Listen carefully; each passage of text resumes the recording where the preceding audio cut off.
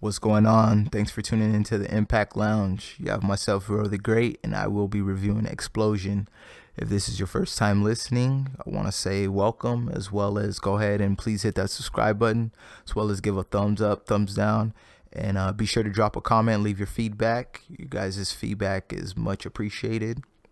Lastly, be sure to check out the other content on the channel. There's some excellent stuff news, reviews, etc. So be sure to check those out, give thumbs up, thumbs down, and share your thoughts on those as well. Very well. So let's get into Xplosion. Our feature match for this week was Alisha Edwards versus LVN.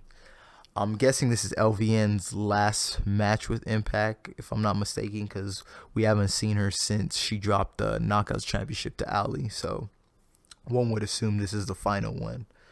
But as far as this match, I want to say it seems like this was just a way to, I don't want to say reintroduce Alisha, but probably more in lines of as an actual knockouts competitor as opposed to her just being Eddie Edwards' wife.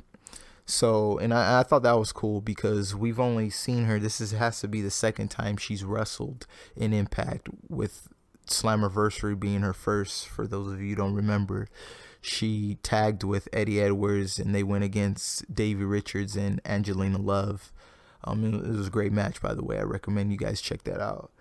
But yeah, and I think Xplosion, not just for her, but for a lot of these uh, wrestlers on the roster who aren't able to get TV time at the moment, just with everything that's going on in Impact. Um, you know, this is a you know great opportunity for them to to work on. As far as the match, um, nothing special. Um, like I said, I think it was just used to kind of uh, showcase Alisha a little bit. Um, there was one low spot where she had went for a crossbody and like she had I guess mistimed it, but like she landed on like the ankles almost and stuff. So that was kind of it's kind of a down point, but she gets to win with a flatliner after reversing Laurel Van Ness's Van Vampirior. So I guess that's the finish that she's using. But she gets a one, two, three. So that's a good win for her. Um, hopefully they have some kind of plans for her because the knockout division at the moment is relatively thin, and you know I guess you could argue a lot of divisions are thin. So any of these fresh faces that we can get, you know, I'm all on board.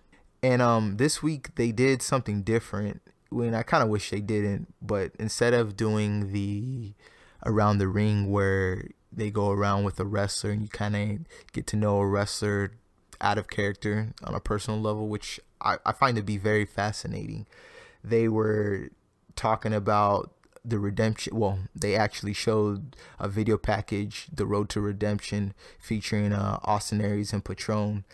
And what stinks about this is, for those of you, and I'm sure everyone's well aware by now, but with El Patron being released, you know, to see all this and the stuff leading up to it, I mean, I gotta say, man, they you know, it was something that was thrown together and it was starting to get me really kind of engage engages in the feud between these two and for it to happen like that. But i think the replacements uh being i want uh pentagon and Fenix i think uh will make up for it.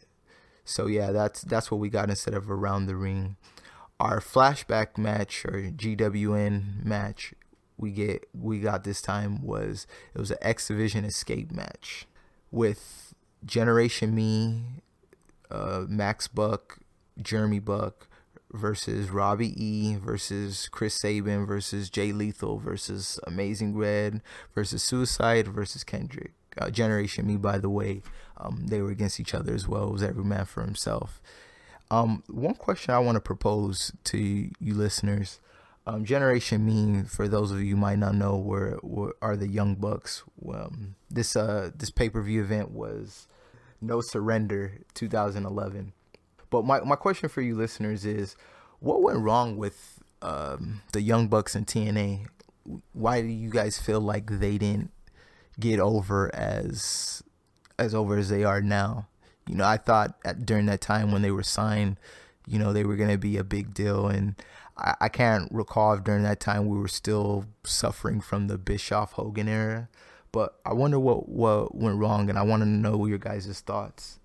So yeah, as far as this match, this was your classic um, TNA X Division match where you got everyone. Um, they go in, they get their stuff in, they hit a finisher, and since it was elimination, they hit a finisher. Someone gets eliminated.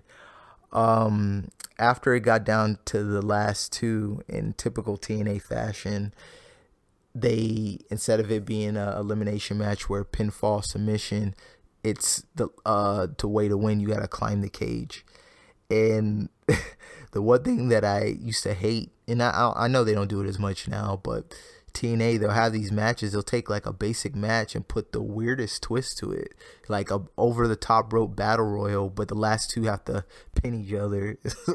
it's it's it's pretty bizarre, but you know I guess that's their way of putting a touch on it.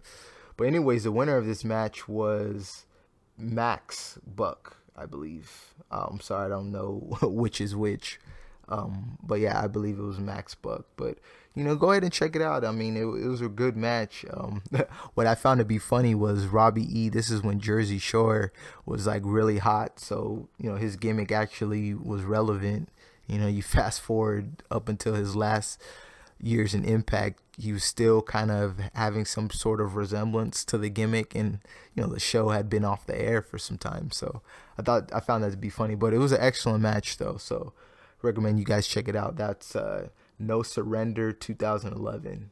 Okay, and then finally our Impact Rewind for the week is uh, Cage versus Lashley 2. And man, I gotta say this. I mean, I jumped the gun on the first one because I was disappointed in the finish, just because I thought Lashley was done with the company. But this made up for it. I mean, I think the only downside was that this wasn't advertised as a rematch. And I remember when it aired, I was like, "What the heck?" Because I had thought Lashley was gone. Don't know. We all know now. You know, he's on another network, so you know, kudos to him. You know, I thank him for his contributions. But yeah, check this match out, man. Brian Cage, man. I'm glad they were able to get him on the Impact roster, and I look forward to seeing the things that he's able to do under this new regime. Um, I think there's big things in his future because he's a talented guy. But uh, that's pretty much it. That's the Xplosion review. Thanks for listening, and uh, until next time, you guys take care.